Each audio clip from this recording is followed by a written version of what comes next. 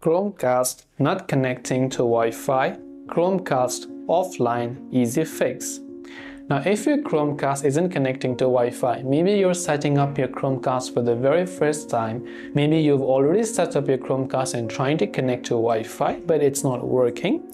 There are a couple of reasons why this could happen. The very first thing we want to make sure is not the internet issue. So try to check if your Wi-Fi is working well on a mobile phone or laptop or other devices that you might have and if it's not working on those then it could be your Wi-Fi issue so you can try to restart your router and your modem leave it unplugged for a while and try to plug in back again and see if that actually helps you.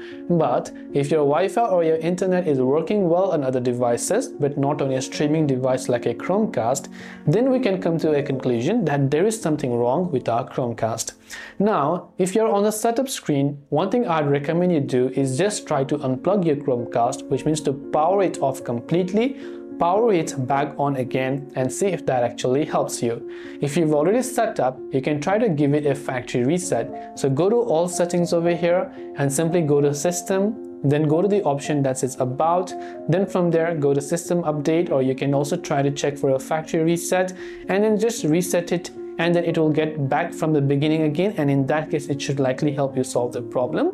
A simple reboot is also going to help you solve the problem so try to restart it or if it's still not working, then you can try to factory reset from the Chromecast itself. So you can just press and hold the little button on your Chromecast for a couple of seconds to be able to factory reset your Chromecast.